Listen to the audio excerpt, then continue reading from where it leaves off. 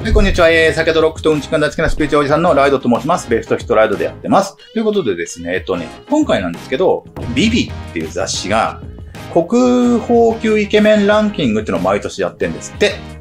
で、そういうのの、なんかね、すごいですよね、国宝級イケメンっていうのね。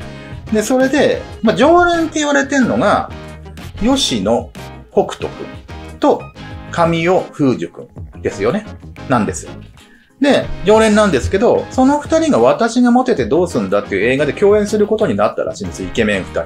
そんな国宝級イケメン二人の今後と運命をつか恋愛運をちょっと見てみようかなっていうそんなお話なんですよね。吉野北斗くんは、吉野北斗さんか。1997年の3月6日生まれ。で、2014年にオーディションで合格して、 RAMPAGEですね。だから、 EXILEのチームってことですね。 RAMPAGEの正式メンバーとなったと。で、2018年には、うんと、 PRINCE OF LEGEND に出演。2019年には、ハイアンドローに出演ということで、今注目のイケメンなタレントさん、俳優だったり、歌手だったりってことですかね。そんな吉野北人さんの持ってる特性なんですけど、この人は積極的で行動派の人たちね。ということじゃあ少し立ち止まって、考えることも必要。要は、ね、動きすぎちゃうんで、今まではぐいぐい行っちゃうんで、たまには考えて、えっ、ー、と、行動すると、また、よ、いいところも見えてくるよっていう、まあ、運気がね、あんまり良くはないのって今年が。なので、考えてやった方がいいんじゃないかっていう年ですね。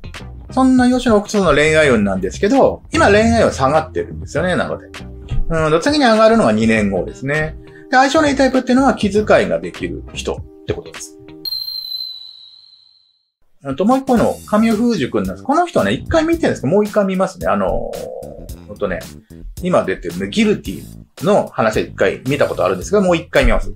神尾風樹くんなんですけど、99年の1月21日生まれ。で、まあ、ね、人気あったのが2019年3年 A 組ですよね。今から皆さんは人質です。に出演と。で、今やってるのはギルティですね。この恋は罪ですか。っていう不倫の話ですね。で、あと、まあ、もう一個やってる最中の出てるのが、いいね、光源氏くんですよね。あの、NHK のね、あの、番組ですね。この神尾風樹くんが持ってる特性なんですけど、この人は真面目でね、仕事にストイックな人ですね。で、今年は心に迷いが生じたりするんですけど、ブレないようにしていこうよっていう時期です。そんな神尾風樹くんの恋愛運なんですけど、今恋愛運がやっぱ低迷してるんですよ。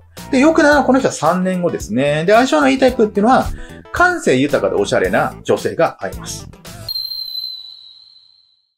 まあそんな感じで、えっと、国宝級か、国宝級イケメンの常連の二人っていうのの新作映画が出るらしいので、ちょっとそれを見てみた。そんなお話なんで、まあ、イケメンはね、僕、基本的にはイケメンの占いなので、多いんで、こんなイケメン見てくださいよってリクエストあったら、ぜひぜひ待ってますんで。ということで、チャンネル登録もよろしくお願いします。